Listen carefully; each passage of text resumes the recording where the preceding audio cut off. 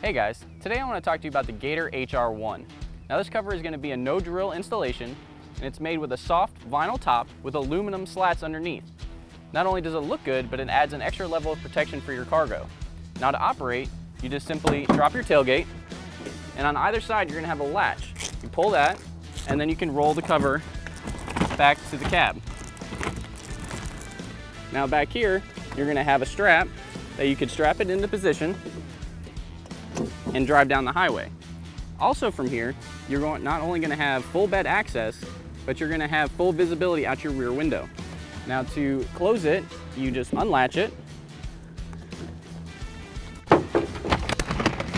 roll it back, latch it into position, and you can lift your tailgate back up.